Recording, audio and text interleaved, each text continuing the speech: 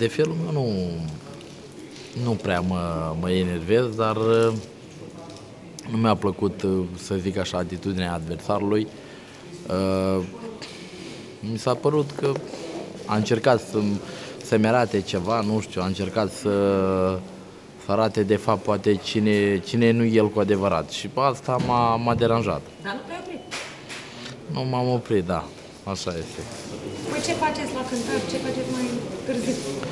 Uh, tocmai ce spuneam și mai, și mai devreme, uh, nu-s genul de om să, să, să mergi din fire. Dacă e să mergi din fire, îmi ies, îmi ies pe ring, acolo dau tot, tot ce am mai bun. Dar astăzi am avut o, nu știu cum exact să, să mă exprim, am avut o, nu știu, poate o neînțelegere cu adversarul. Învați? Trebuie, că n-am altă soluție. Altă soluție nu am, trebuie să, trebuie să câștig acest meci și îmi doresc mult să fac un meci frumos și să lupt pentru mine și familia mea. Știți să faci meciuri urâte? Uh, N-am de unde să știu exact. Bănuiesc că asta ar putea spune o uh, lumea de la TV și ce- uh, cei din, uh, din public, din, uh, din sală.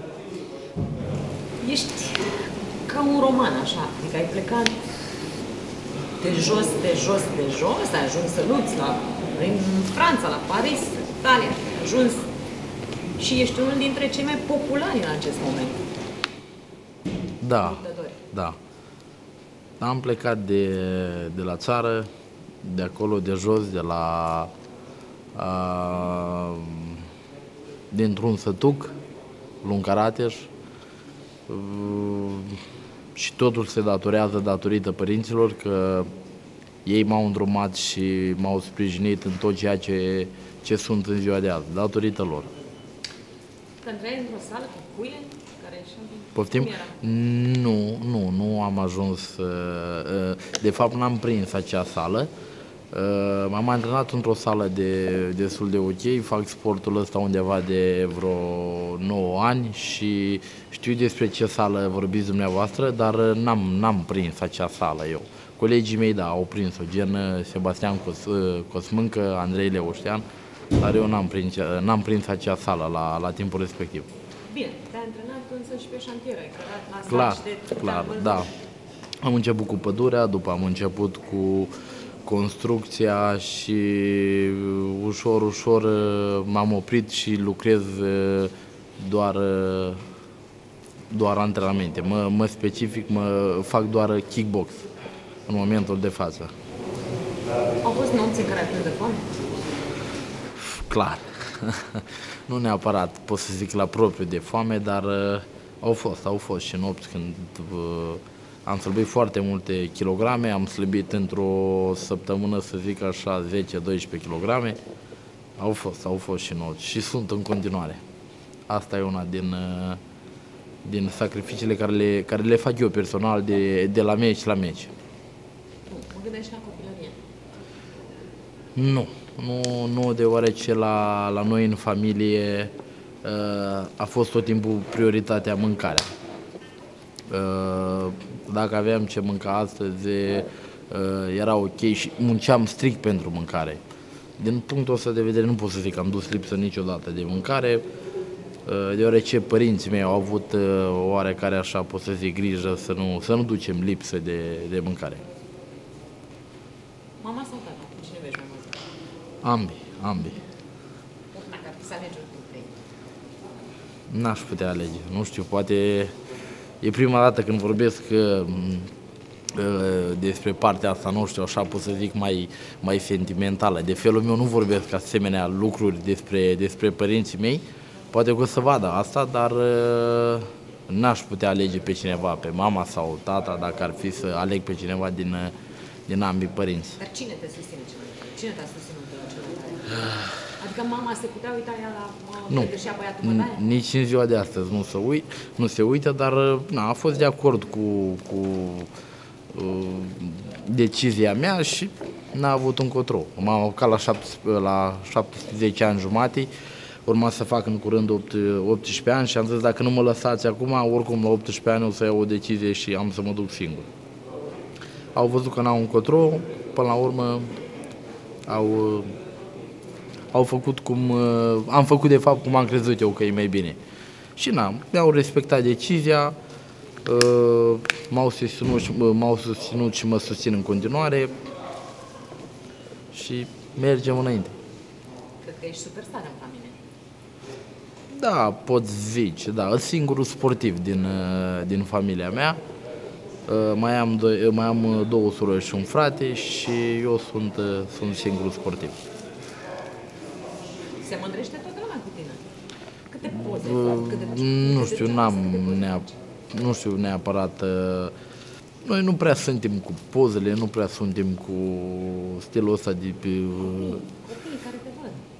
Da, fac, nu pot să zic fac în general așa, poze.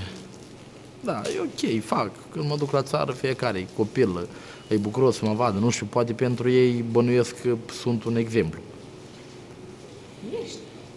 Ești. Așa cred și sper. Care este cel mai frumos moment pe care l-ai trăit? Uh, în momentul de față, familia, copilul, soția, acasă, liniștit. Asta este unul din uh, motivele mele de relaxare. Ce simți când ai devenit Este un, uh, un sentiment unic, nu știu, nu-l pot uh, exprima în cuvinte. E ceva de nedescris. De, obi- de obicei nu prea plâng de felul meu și chiar dacă e să plâng nu și mă retrag într-un colț undeva nume unde să nu, să nu mă vadă multă lume și să fiu doar eu și atât. Uh, nu prea plâng de felul meu, dar na, chiar dacă aș plânge, nu vă pot recunoaște acum că plâng sau nu sau, sau nu plâng. Îți crește nasul, că la final că nu Dar cel mai trist moment? Uh, cel mai trist moment cel mai trist moment cred că l-am avut în uh, am pierdut uh, în fața unui moldovean, Constantin Rosso. A fost unul din momentele nefericite, pot spune așa. Visezi să Clar, visez să-mi iau revanșa.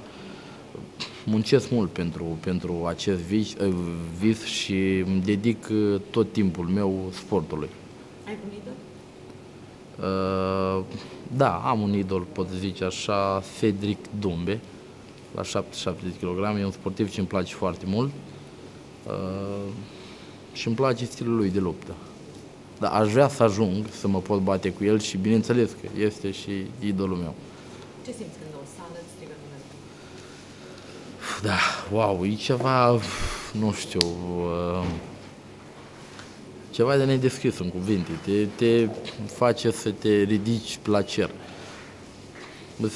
multe emoții constructive, să te face să te simți bine și asta, asta este cel mai important.